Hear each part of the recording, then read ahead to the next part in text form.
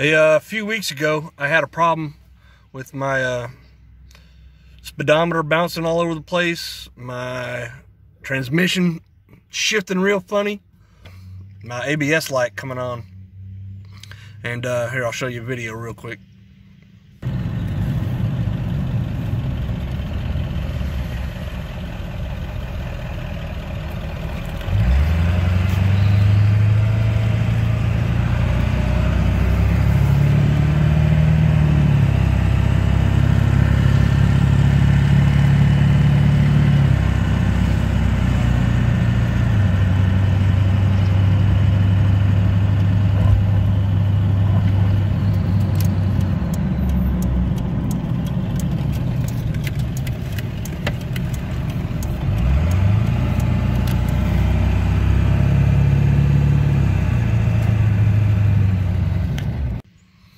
What it ended up being was this sensor here on top of the uh, rear differential.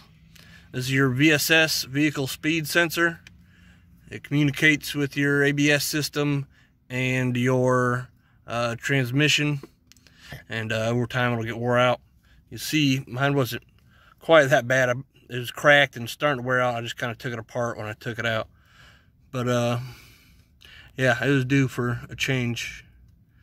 So, like I said, this caused that problem. Uh, it was like $18 at O'Reilly's. I think you can get it a little bit cheaper if you order it through Amazon.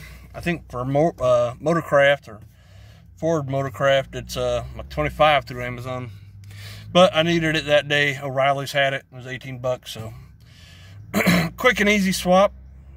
Uh, vehicle speed sensor, VSS.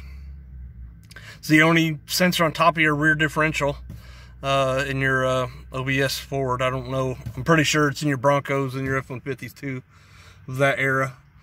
Um, cheap and easy. It's the only one on top of your. I don't. I'd show you guys, but I don't feel like crawling under there. I just go to the shower. Uh, but it's like I said, it's the only one on top of your differential. It's one, I think, 10 millimeter bolt. Piece of cake. Very, very easy to change clips on and off, easy peasy.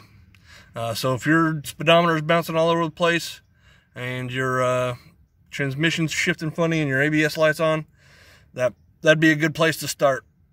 If not, start looking into your ABS system. But definitely start there. That's cheap enough to uh, to try. All right. Well, hopefully this helps somebody else. Thanks for watching. Like, share, subscribe, all that stuff. Bye.